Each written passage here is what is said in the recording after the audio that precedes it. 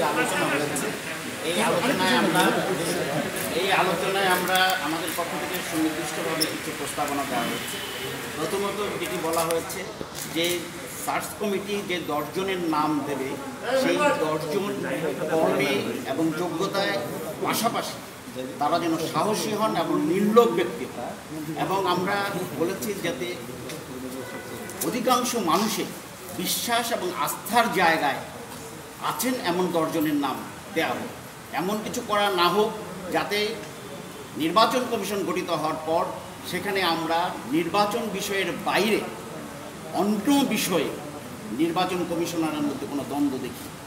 এই কারণে যে এমনি আমাদের নির্বাচনের বিষয়ে আস্থা এবং বিশ্বাসের গুণ ধরেছে, সেই জায়গাটা যেন আর ব্যাঘাত না, সৃষ্টি না হয়।